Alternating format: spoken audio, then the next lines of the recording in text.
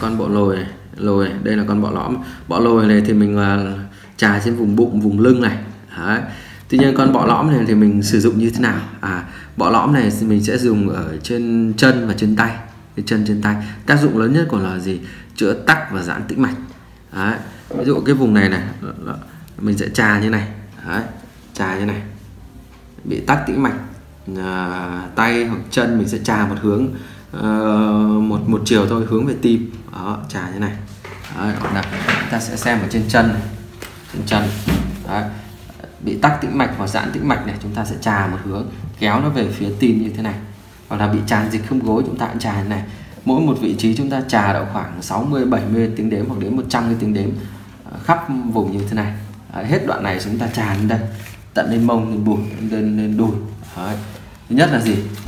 Giảm đau và chữa giãn tắc tính mạch tĩnh mạch và tác dụng nữa là gì? Tác dụng nữa của nó là gì? Để à, nâng ngực. À đây ngực ở đây này. Thì chúng ta đẩy nó lên trà nó lên.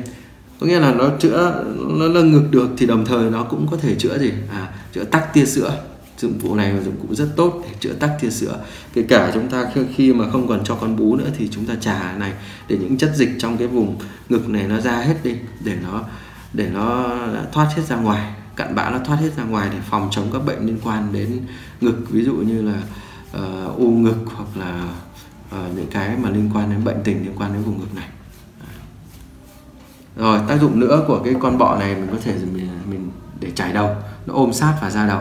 Thì nó nó, nó giúp cho chúng ta là gì? Chữa liên quan đến nhức mỏi à, à, đau đầu đau đầu. Đấy, rồi à, chống rụng tóc chống bạc tóc làm giải tỏa stress chống căng thẳng còn con bọ lõm này.